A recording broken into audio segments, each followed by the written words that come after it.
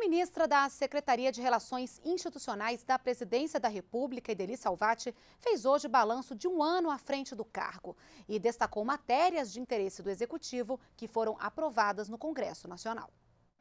Para a ministra da Secretaria de Relações Institucionais, Ideli Salvati, os últimos 12 meses foram marcados pela aprovação de importantes propostas do governo federal no Congresso Nacional, como a criação da Fundação de Previdência Complementar do Servidor Público Federal, FUNPRESP, e a Lei Geral da Copa. Nós temos também do ano passado, né, várias, vários projetos aprovados que foram daí eu diria até mais difíceis, né, como foi o caso da DRU, como foi a questão da emenda 29, mas eh, também, né, com todas as dificuldades, conseguimos aprovar.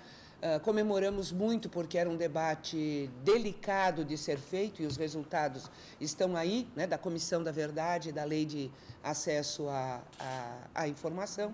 A ministra também falou sobre a proposta de alteração na Lei de Diretrizes Orçamentárias, que define as metas para o gasto público. Com a mudança, Legislativo, Judiciário e Ministério Público teriam autonomia para reajustar salários.